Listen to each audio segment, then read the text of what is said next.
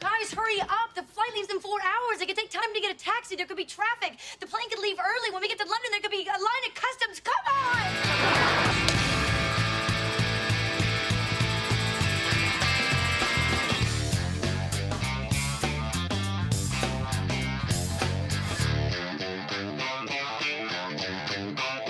London might have gotten started mainly because I felt like while the show was popular, we needed to take advantage of it and go someplace and do the show on an exotic location and have a good time. There's so many people here walking around, you know. People from all over the world are here. These last few episodes of the show have kind of been about us getting all excited to go to London, and then we realized in real life we're actually doing that same thing. Passport, check. Camera, check. Traveler's checks, check. Hey! Hey. Hey! Are you ready yet? Yep, you got the tickets? Oh, got them right here. Check. Yeah, London, baby. It's all London, baby. Here we go. Ross is, is getting married to this young woman named El- Emily, and um, I set him up by accident. Why don't we? Why don't we what? Get married. I started to uh, fall for um, this character, Emily, uh, played by Helen Baxendale, and we decided to to go all the way, I guess, and, and get married. Ross has asked me to marry him, and I say yes. And so we arrange a big wedding in London. Things go a bit wrong. There's nothing to discuss. We're not paying for your wine cellar. You, you have to meet me in the middle here. Hey, you keep pushing me on this, my foot's gonna meet the middle of your ass. You want a piece of me, sir? Is that what you're saying? Want a piece of me? Okay, okay, that's it. Parents, parents, back away. All right, this is our wedding day. From now on, everyone gets along. And if I hear one more word, no grandchildren. That's right. Okay, okay. Sorry, oh boy. Sorry. Sorry. Sorry. I could kill you with my thumb, you know. We, we knew the show was popular in England, and so it seemed like a natural fit. I knew how big the show was over here, and that part was really exciting for everybody to be welcomed. Everywhere, walking down the street, I don't know if you see over there, bunches of kids watching and so and uh, signing autographs. They're just really big fans of the show over here, I guess. I, I watch it all the time and videos of it because my children love it. They absolutely love it. Shh, shh, shh. Okay, so say hi to my friend and tell him you like my hat. Okay, so um, let's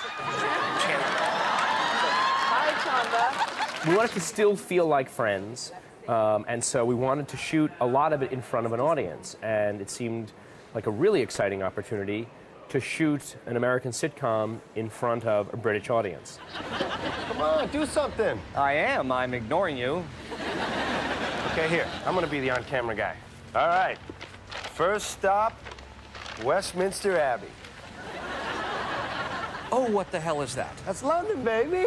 We were really afraid going over that either uh, they'd be far more sedate, they wouldn't laugh, they'd be. They were great. They were great. Big laughers. They waited in off. line for hours. We traveled 329 miles. No, she's lying, actually. It's more like 200. The show's doing so well over here that it just seems like, uh, you know, that they're real, rece- real, real receptive. It's, it's really quite wonderful and flattering and overwhelming, truthfully. You know, we didn't have a single bad audience in London.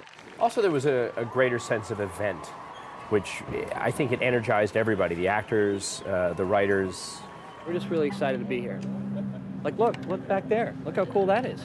We missed Lisa. Yeah. We missed Lisa not being there. That was probably the only drawback I can think of. First thing I thought was, how exciting. I wonder if I'm going. Oh, it's awful that Lisa's not here. It's uh, we feel like we have a like a limb missing. Let's try some um, aversion therapy. Okay. Okay? All right. All right. So, um, yeah, look at the picture. Okay. All right. And, um.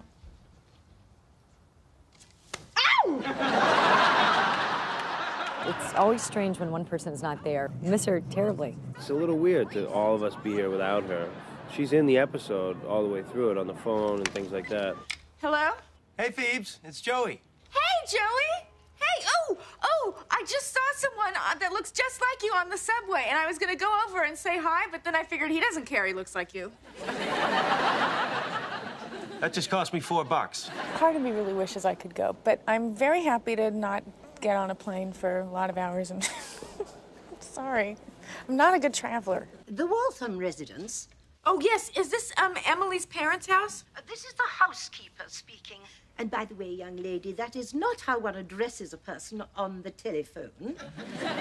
First, one identifies oneself and then asks for the person with whom one wishes to speak. Uh, this is Phoebe Buffay. I was wondering, please, if, if it's not too much trouble, please, um, if, might I speak with Miss Emily Waltham, please? It was also interesting because we had shot about a third of it here. And a little bit of it on the streets in London. All right. Westminster Abbey. Hands down, best Abbey I ever seen. Hey. Okay. What do you think of the Abbey, Chandler? Uh, I think it's great. It's great. You know, they're thinking of changing the name of this place. Really? To what? To put the camera away.